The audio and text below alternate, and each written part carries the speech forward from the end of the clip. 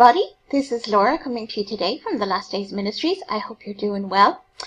Now, um, I got a question from um, a brother in the Lord, and he was asking me about um, David Jeremiah, this this gentleman here, and he was asking me whether he was good or not, and should I be, you know, he wanted to understand whether he should be listening. He also asked me about another another man, but I'm going to be doing a video on that at, an, at a later date. So but um, at this moment in time, we're going to be looking at this man here. Now, this is a blog spot that I'm going to be reading, and it's called Rather Expose Them. I'll leave the link underneath. Like, uh, this was done in Wednesday, March 25th, 2015. Okay. Um, so it's only three years old, but the information is still true to this day. So let's just look at this. Um, so I'm going to read this uh, Wednesday, the March 25th, 2015. Complete ecumenical apostasy. David Jeremiah invites Roma Downey and Mark Burnett, Catholic New Age heretics, passes quote unquote turning point, that's his ministry turning point, into heresy and apostasy. Jeremiah has already passed the turning point towards heresy, apostasy, Catholicism, and New Age mysticism. Okay, so let's just come down here. Uh, this, there you go. There you see Roma Downey. She was, I think, she was in that Saved by an Angel, or I can't remember exactly the name of it, but it was something to do with Saved by an Angel, and it's all very mystic and all that kind of stuff. And here she is with Mark Burnett, um, and they talk to David Jeremiah about AD. The Bible continues. So the information down here is we have, okay, there's information there, the revolution. Um, I'll leave the link underneath so you guys can peruse this at, your leisure. Um, so let's come down here. Um, David Jeremiah completely and utterly deceived. A Lighthouse Trails, a Lighthouse Trails reader who is on David Jeremiah's mailing list received the following email notice from David Jeremiah. The appearance took place earlier this month. Please read our new booklet tract article by Gregory Reed, Confused by an Angel. the Dilemma of Roma Downey's New Age Beliefs. Okay. So here we have you're invited Thursday, March 12th at 3 p.m. Come and see Roma Downey and Mark Burnett live at Shadow Mountain. Now, Shadow Mountain is the ministry of David Jeremiah. So there you see Shadow Mountain Community Church. Um, and they are situated in uh, San Diego, in El Cajon. By the way, I've been to El Cajon um, a few, long time ago, back in the year 2000, 1990, 2000. So I know the town. Um, but this is where they are situated. So I just wanted to bring that to your attention.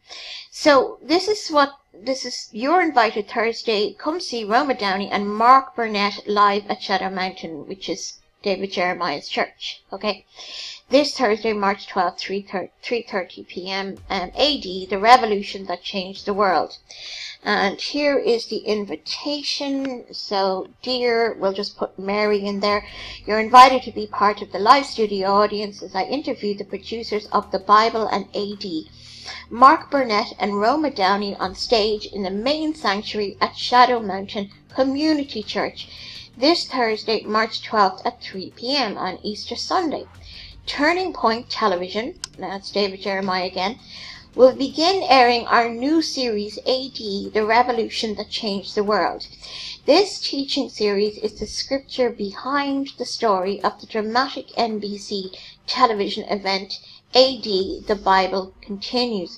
We are privileged that producers Mark Burnett and Roma Downey asked to partner with them in telling the story of the early church through the characters found in the book of Acts. I pray you will join me for this live taping with Mark and, and Roma as we discuss the role of Christians in Hollywood and how God is using biblically based programming on primetime television to reach the world for Christ. Doors will open at 2.30 p.m. and the taping is scheduled to begin at 3 p.m. This interview will be aired on Turning Point Television and used online and in social media to promote the message of this groundbreaking series. See you on Thursday, David Jeremiah. Now, we know that Roma Downey is Roman Catholic, and so this is really wrong. So, you know, we've talked about before about the one world religion and the one world order, but we're very much in the middle of the apostasy right now, because it's happening all over the world. And part of the apostasy, of course, is that they're going to get all religions lead to Rome so that there will be a one world religion. And we're seeing that with the Pope, where he's connecting with all kinds of religions right now in history. So this is a very um, strong biblical time. Okay. So AD, the Bible continues. That has to, I think that's to do with the show. Then we come down here. Okay. So here we have Southern Baptists and Catholics praising um, New Agers' work. This is 2015 Way of Life. We'll leave you the links underneath. Southern Baptists, Catholics, Pentecostals, and Emergents are praising the latest work of the New Age entertainer Roma Downey.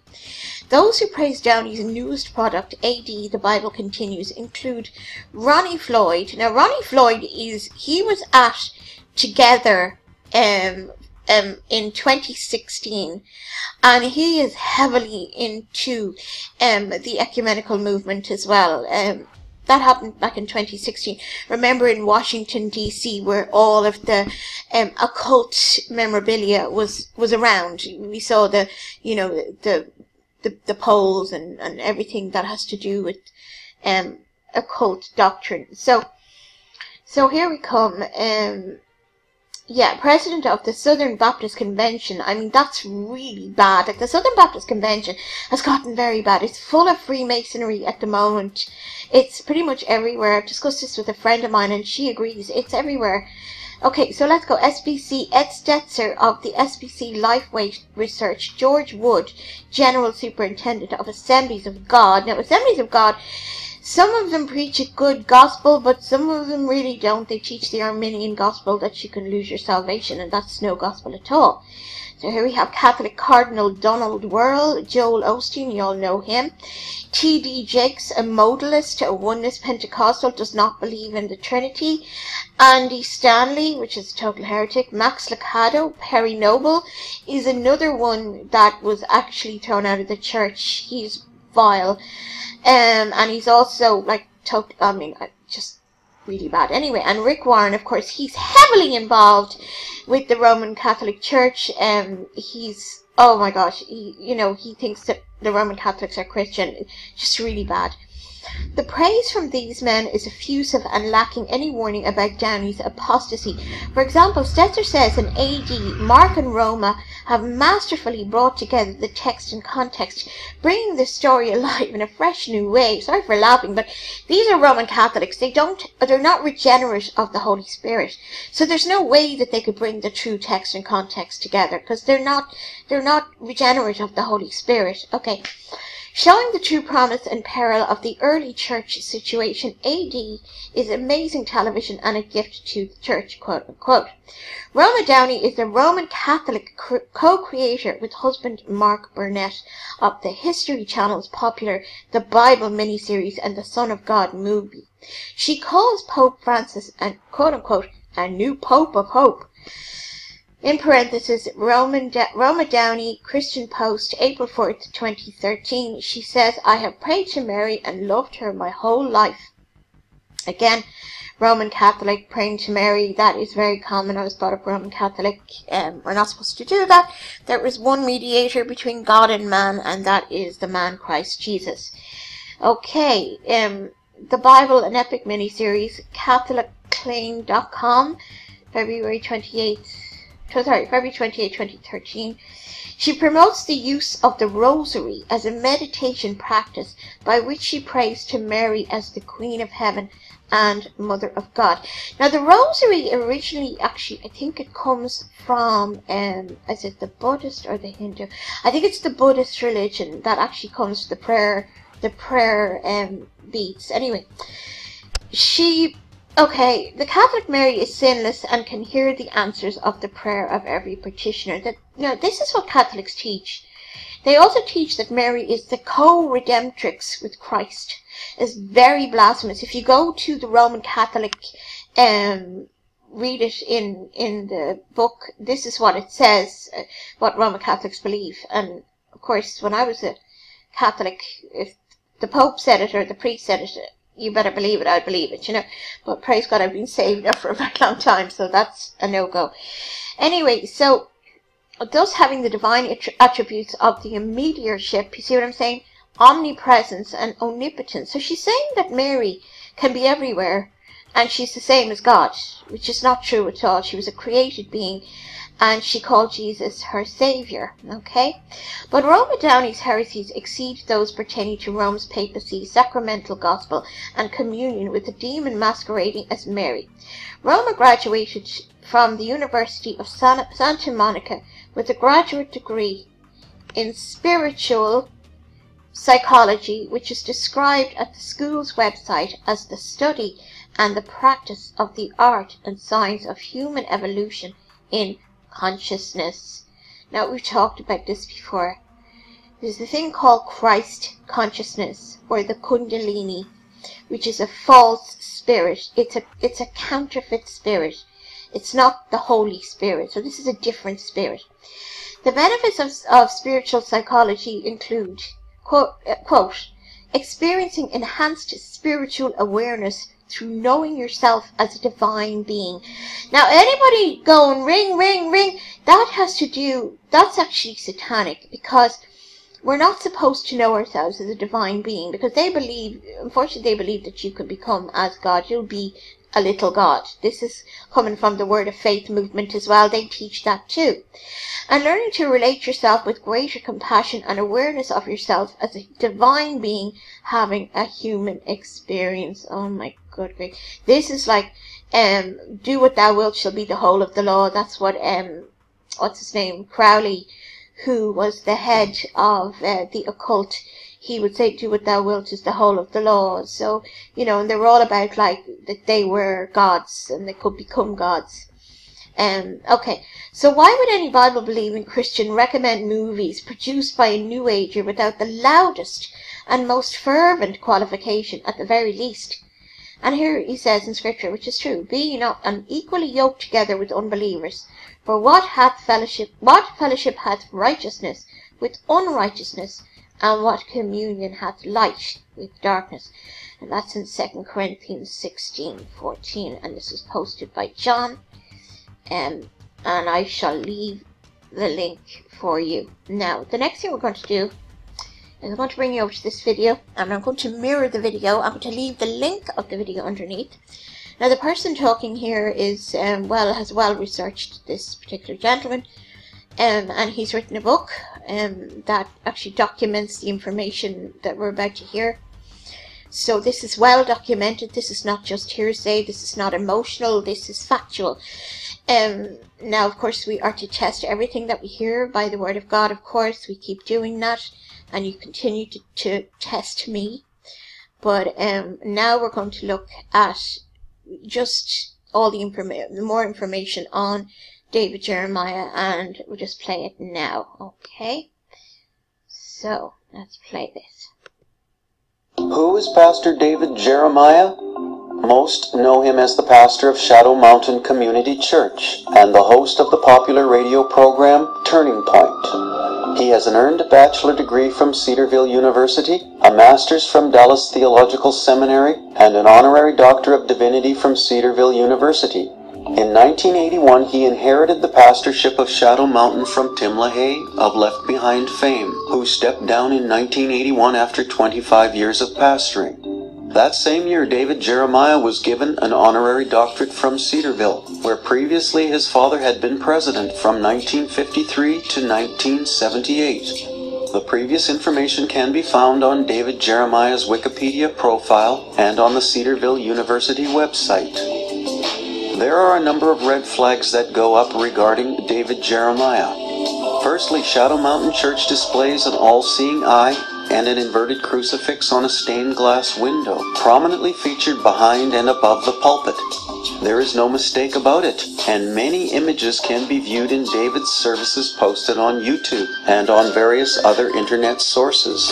Mo- Okay, so just before we go on, I know that some of you are not, I suppose, very artistically minded. I am, and I can see the eye. I'm sure a lot of you can see the eye. There's the eye there.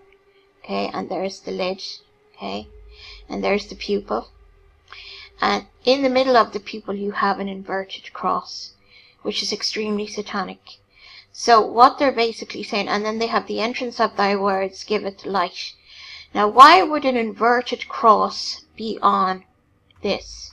It doesn't make any sense. So I think what he's doing is he's what they call it's called dualism. What they do is they show you the good, but it's es- that's um the esoteric and the esoteric. Now the I think it's the esoteric that's basically um hidden, okay, but this is hidden. The entrance of thy word giveth light. Now so we have an inverted cross, and who does the inverted cross stand for? Only, of course, Lucifer and Satan. Alright? So let's just continue with this. Most know that the all-seeing eye and the inverted crucifix are associated with occultism, and particularly the Freemasons. So we must ask the question, what are an all-seeing eye and an inverted crucifix doing in what is supposed to be a Christian church? To get a broader perspective of this questionable symbolism found at Shadow Mountain Community Church, one need look no farther than Tim LaHaye, Jeremiah's predecessor, who used the cross and crown symbols on the cover of his 1998 book titled The Power of the Cross. The cross and the crown displayed exactly as Tim LaHaye has done is the emblem of the Knights Templar, an occult order that many have linked to the Freemasons. In fact, some Masonic temples feature the Templar logo inside their buildings. Additionally, LaHaye's Prophecy Study Bible also features on the front cover an occult symbol incorporating the hexagram, a symbol relating to satanic hexes and curses.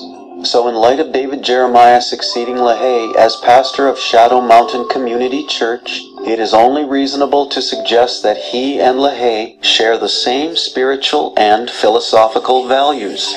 It is highly likely that after 25 years at Shadow Mountain, LaHaye would recommend someone very much like himself to carry his occult work forward.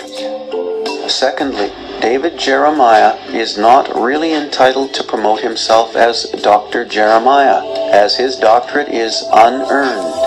Standard academic protocols as laid out by the Associated Press Style Guide, APSG, are respected by all major credible universities, students, and graduates.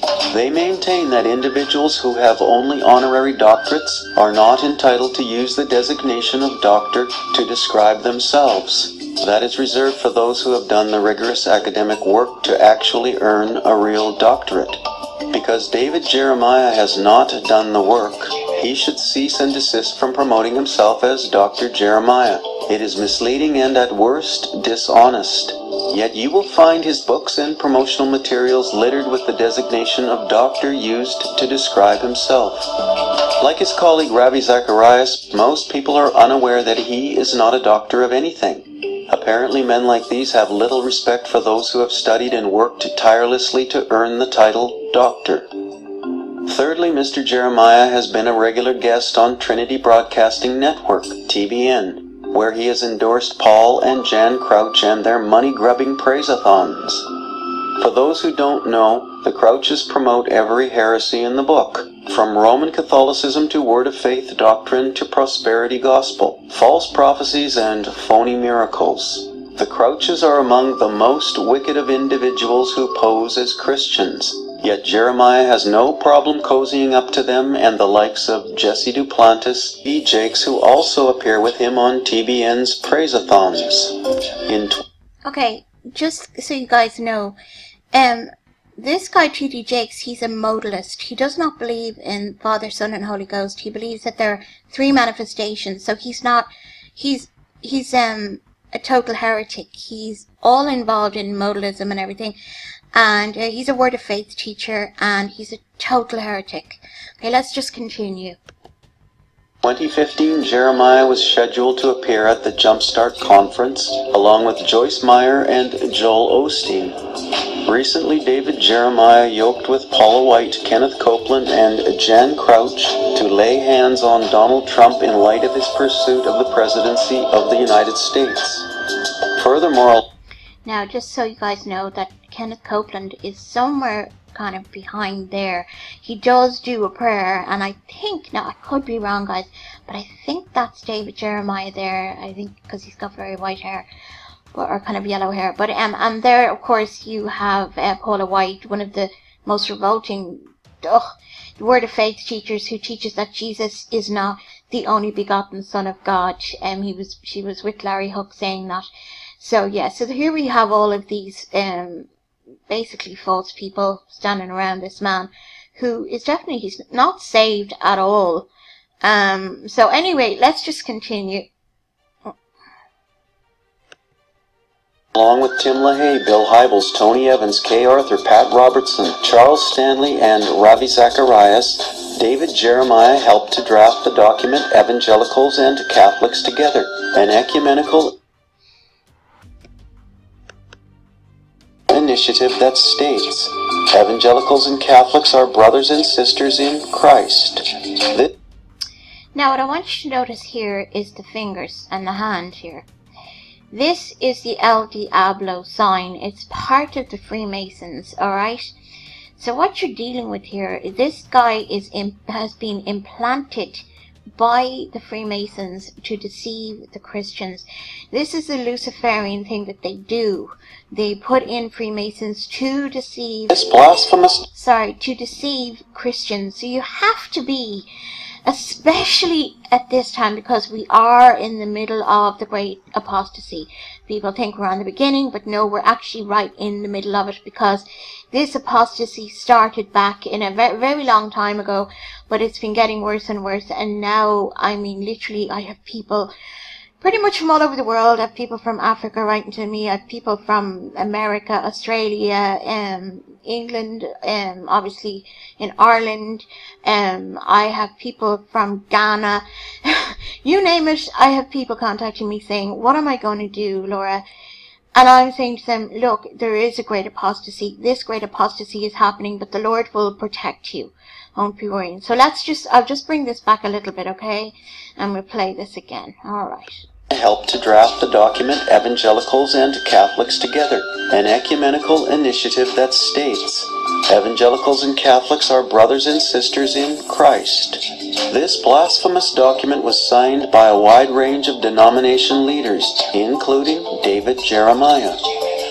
Fourthly, in his book titled Life Wide Open, Jeremiah favorably quotes New Agers, mystics, and contemplatives. And in his book Captured by Grace, he endorses Henry Nouwen, a Roman Catholic mystic.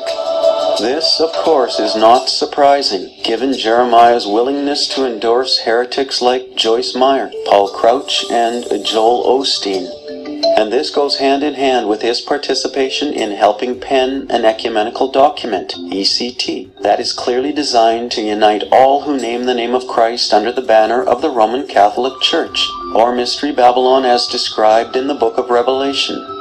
Lastly, David Jeremiah is affiliated with Promise Keepers and has been speaking at Billy Graham's event called The Cove since 19. Okay, so I wanted just to give you some information on the Promise Keepers um, the, the Promise Keepers are a bunch of men that get together and they praise God, and it looks really fantastic. It really does, because you've got all these we, uh, what you would, would we consider born again Bible believing Christians together, and it looks beautiful. You know, precious men of God. But, here's the big but, it's actually Catholic and it's ecumenical and it's going towards the one world religion, okay? So we're really very, you know, we're on the road and we're very close to that one world religion. I, I really believe the Lord is coming back soon. Of course, we don't know when, but, um, we just keep praying to see the Lord come in, in glory. But uh, that's up to whenever the Lord decides to come. Nobody knows the day or the hour. But let's just continue. 1692. For those who don't know, Billy Graham sold out to Rome and ecumenism decades ago. In my book titled The Jesuits Ordained Unto Condemnation, I thoroughly document this.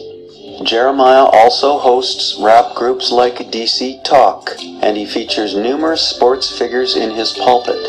It seems he has little or no discernment regarding the role of a pastor and the true function of a church.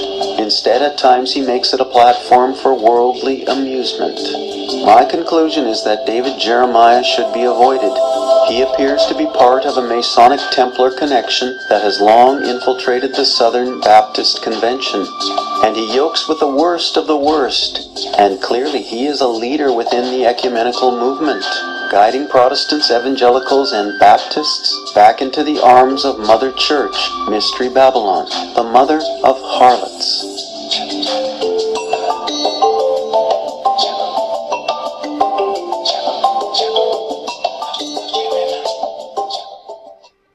Okay, guys, so there you have it. Um, I hope that helps the brother that wrote to me asking me about this gentleman, David, David Jeremiah. Um, I did leave a little message under his message to let him know that no, he's not safe and, um, but I'm doing this video now for, for him and for others, of course, who don't know about the connections of David Jeremiah and that he is actually, in fact, um, basically someone that was placed in by the Freemasons and is an occultist. And what does the Bible say? It says that in the last days many false prophets will come. They will come in sheep, they will come in wolves, there'll be wolves in sheep's clothing, like David Jeremiah, very handsome older gentleman, a nice suit, looks very clean cut, well spoken, but he is very much involved with the occult. So I hope that helps, guys. May the Lord bless you. May the Lord keep you. And may the Lord let his light to shine upon you. And I'll talk to you super soon. Bye for now. Bye-bye.